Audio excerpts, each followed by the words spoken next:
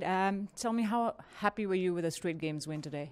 Uh, very happy, obviously. Uh, we have a ton of respect for the young uh, Chinese pair. Uh, they have made some, some good results and they are young, both of them.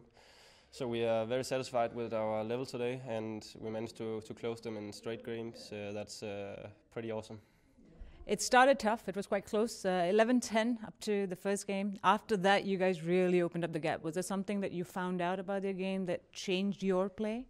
Yeah, they we played them for almost a year ago, and they they become better. So before we kind of read the, their game, um, how they hit and how they smash, it just took uh, half a set, um, and then we got more comfortable in uh, in the defense, and uh, we could take it from there. So that was. Uh, yeah, tough start, but uh, two good finishes in uh, both sets, so I'm really satisfied.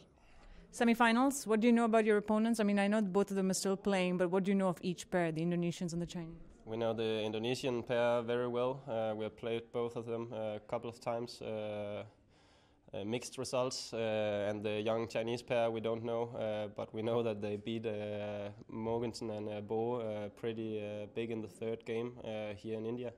So we have obviously a lot lots of respect for them also. Okay, so you're in India. Uh, I'm going to ask you a fun question. Um, do you like Indian food, and if so, what do you like? Uh, we're pretty uh, big fans of uh, roti canai and uh, garlic naan um, with the sauce from uh, uh, a butter chicken. That's the perfect set, and then a big coke on the side. So also chicken biryani. Yeah, very nice. Yeah. Where have you had it? Have you had the best chicken biryani? Where is the best chicken biryani you've ever had? Pind Balluchi. Pind Balluchi.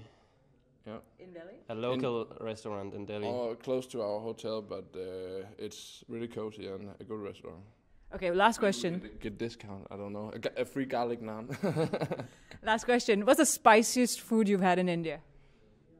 The chicken biryani at the hotel Le Meridien. Uh, no, the that got my stomach yeah, yeah. up and going. Let's just say that. I think they have a red or green curry at our hotel as well. That's yeah, pretty. Strong as well. But everything is spicy in India, yeah. so even things that aren't spicy are spicy for us. So.